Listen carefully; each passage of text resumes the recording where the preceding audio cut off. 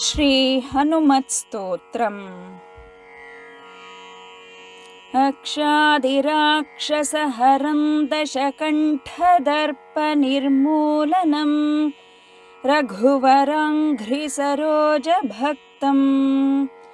सीताविषह्य घनदुःखनिवारकम् तं वायोः सुतङ्गिलितभानुमहम् नमामि मां पश्य पश्य दयया निजदृष्टिपातैः।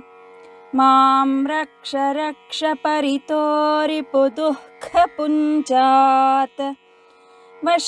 कुरु त्रिजगतां वसुधाधिपानां। मे देहि देहि महतीं वसुधां श्रियं च।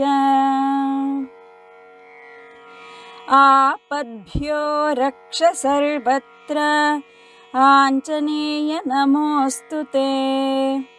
बन्धनं छेदया भुक्तं कपिवर्य नमोऽस्तु ते।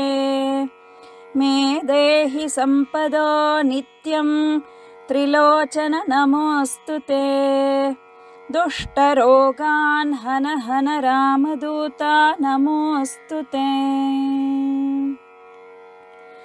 उच्चाटय रिपून् सर्वान् मोहनं कुरु भूभुजां विद्वेषिणो मारय त्वं त्रिमूर्त्यात्मक सर्वदा।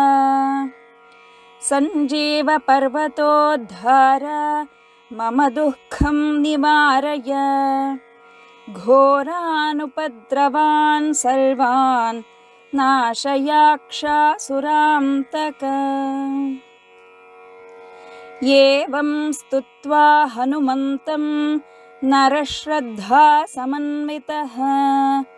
पुत्रपौत्रादिसहितः सर्वान् कामानवाप्नुयात् मर्कटेशमहोत्साह सर्वशोकविनाशक।